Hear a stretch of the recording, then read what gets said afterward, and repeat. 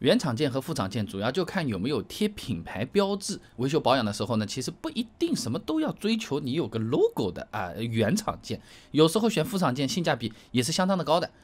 商务部二零一七年啊出台了一个汽车销售管理办法，它这么规定的：所谓的原厂配件呢，指的是汽车生产商提供或者认可的，使用汽车生产商品牌或者其认可品牌，按照车辆组装零部件规格和产品标准制造的零部件。潘建亮在《汽车工业研究期刊》上面有篇论文分享给你啊，我国汽车后市场零配件配套经营状态调查里面说啊，呃，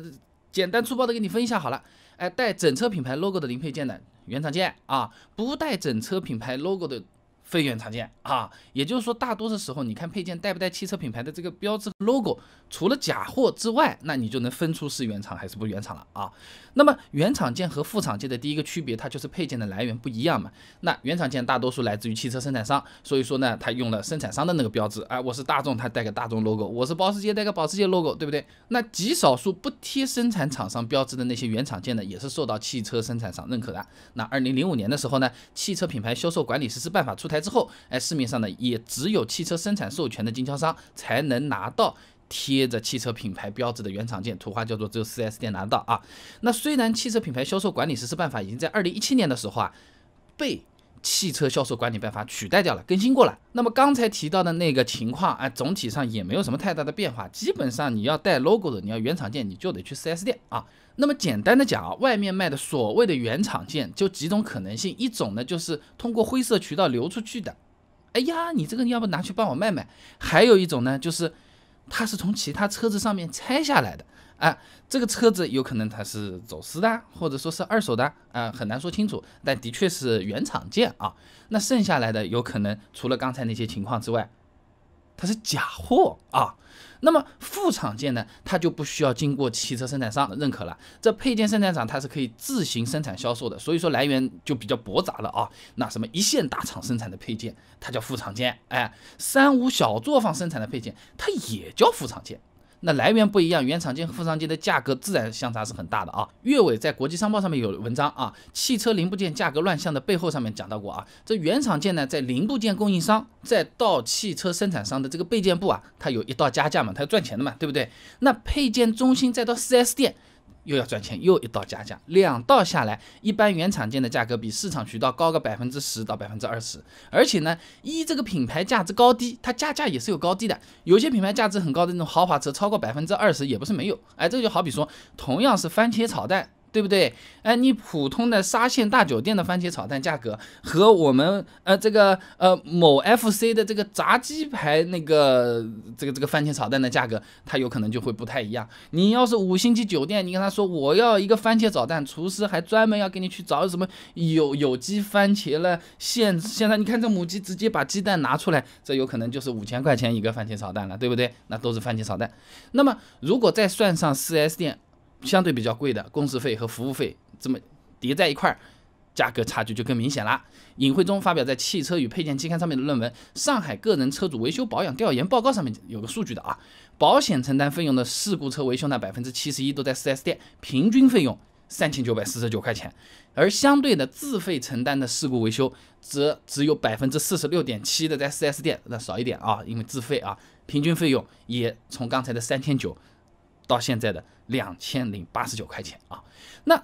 原厂价格的确比较贵，但总的来说嘛，那你适配程度啊、质量啊比较稳定，但不能出问题嘛，对不对？那不然的话，我们干嘛还要去掏这个钱嘛？啊，出问题概率比较低的。周茂杰发表在《产业与科技论坛》期刊上面的论文分享给你。我国汽配市场现状及治理对策研究上面讲啊，这原厂件呢，它在相对应的那个车型上面啊，它是有配套装车的，就生产制造的时候，它用的就是这个配件啊。那么可靠性和适配程度呢，都是经过验证的，出问题的概率会比较小一点，和其他配件比的话，呃，更可靠一些。那副厂件它就不一样了，它没有在相应的车上实际的配套装上去过嘛。那好了，再加上这个。那么多的供应商，那么多的生产商，这个配套的这个程度，它质量本身的那个要求，它是参差不齐的，好的嘛很好，差的很差。就好比是路边摊啊，有几家路边摊都快到百年老店了，这人家都慕名而来，从城西一直开到城东，就要去蹲在人家门口，哎，吃那碗拌面，很好，很不错。但也有一些路边摊，你那边吃了，你别说好吃不好吃，第二天去医院了，都食物中毒了，那这哈肚子好难受，是吧？哎，有点像是这样的味道。路边摊我们不能一竿子打死，副厂件我们也不能一竿子打死，有好有坏也是客观存在啊。那么虽然原厂件的质量适配程度相对副厂件的确更好更稳定，那么价格放在这里的呀，有没有必要什么故障都去 4S 店追求原厂件呢？我觉得是没有必要的啊。那刚才提到的上海个人车主维修保养调研报告里面的数据是这样的，在较高价值易损件，比如说什么轮胎、机油等等这种啊，三分之二的人呢是选择有品质保证的副厂件。哎，你比如说雨刷之类的低价值易损件呢，选择稍微呢又更随意一点。只有什么刹车片这种安全类易损件，选原厂原配的这些配件的朋友才更多一点，达到了百分之七十四。对吧？那也就是说，除了安全配件之外的易损易耗件，轮胎、机油、雨刮、滤芯等等，你只要品质够好，价格相对又是比 4S 店便宜不少。虽然叫做副厂件，但其实也就是个 logo 没印上去，你品质是有保证的情况下，的确是更有性价比的选择。那比较方便的这种办法，就是网上面搜一下我自己的车型用多少尺寸的雨刮，什么类型的。哎，原来它生产的时候是哪个品牌商代工的？哦，我这个呃是是是奔驰哎，我这个奔驰原厂装的就是那个博士的雨刮，那我直接买博士雨刮好了。你不印奔驰 logo 怎么会变差？